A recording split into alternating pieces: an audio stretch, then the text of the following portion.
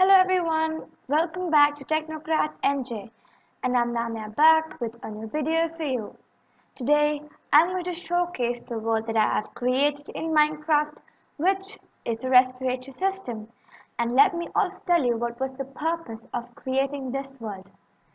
There was an evaluation which had to be conducted in our class for this chapter so that we can brush up the concepts of the children about what they have learned in the respiratory system and also asking them a few questions about what they have learned and then showing them the answers as well.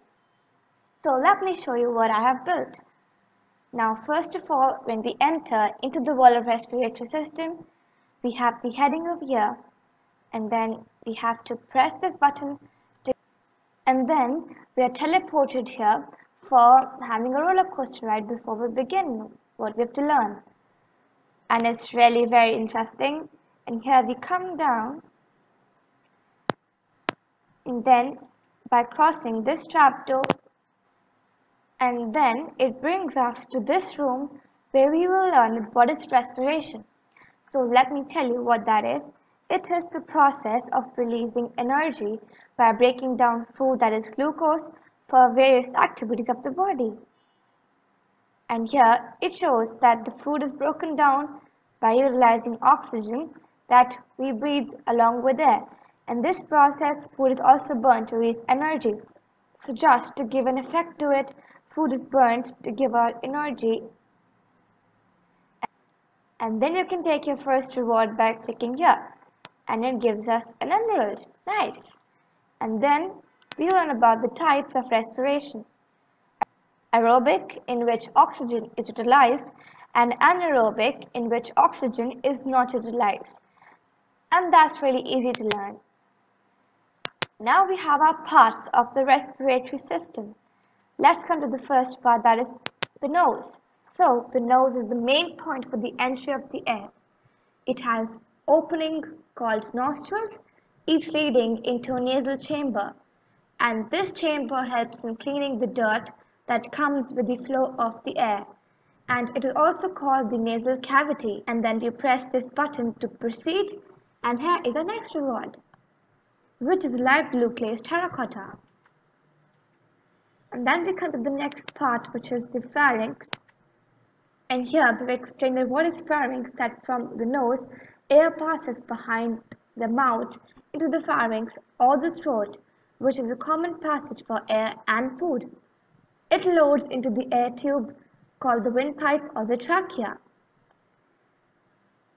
And here is the next reward, which is a brown stained glass. Not bad. And here we have a spooky ride before we continue the course. It's quite dark in here, isn't it? And we press this button and yes, we're to the third part, that's the larynx. So at the entrance of the trachea, there's a voice box called the larynx.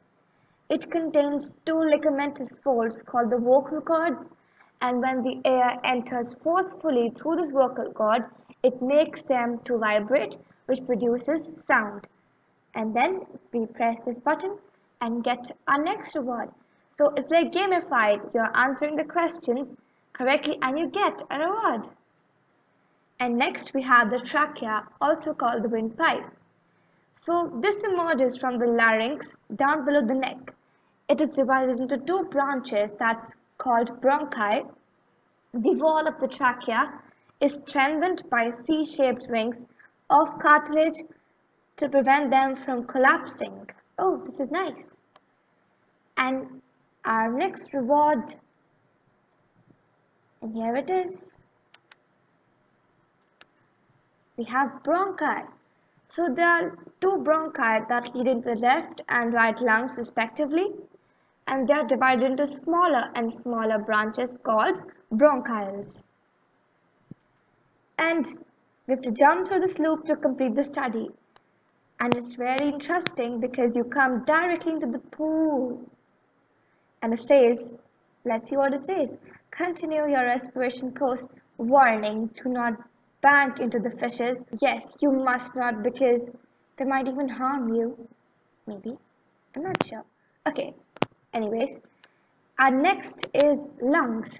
The lungs are a pair of pink and spongy elastic organs protected by the rib cage. And I'm sure everyone knows that. And the lungs rest on the diaphragm. And the lungs also give oxygen to the heart. And here we have depicted sort of lungs so that people can understand these are lungs.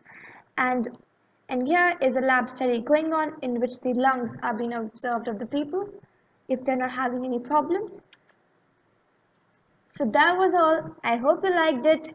And don't forget to like it and subscribe my channel. And you can also use this as an idea in your classrooms if you want to have evaluation.